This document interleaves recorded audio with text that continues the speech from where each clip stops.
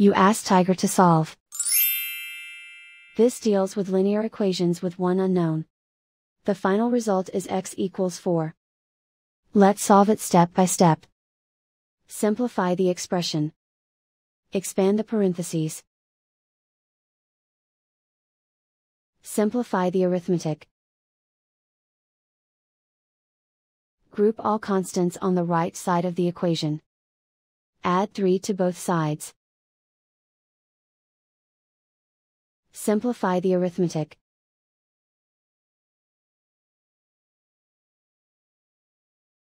Isolate the x. Divide both sides by 3. Simplify the fraction.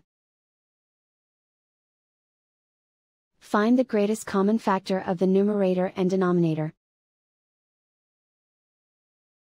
Factor out and cancel the greatest common factor. And so the final result is x equals 4.